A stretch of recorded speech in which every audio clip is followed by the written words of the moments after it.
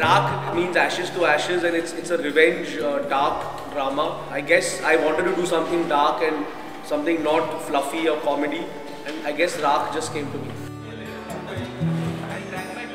Shaad, who has not been uh, showcased as a villain. Of course, today after shooting it, I've realized, and we all have realized that he's just outstanding, and it was just perfect for us to make sure he did this.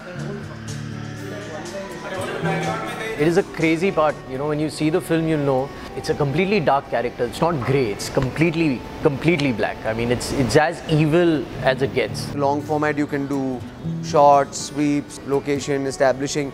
Here, on the actor, the acting has to be good, it has to convey it, and then you're out.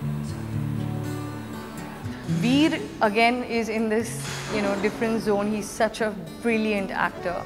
He's never, never been chosen to uh, work in this uh, genre again. And Richa again, uh, you know, it's a completely different look.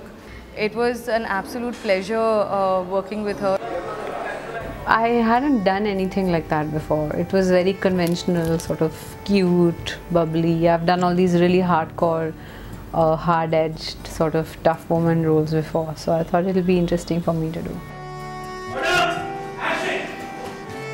जिस्म जल जाएँगे सब राख हो जाएगा।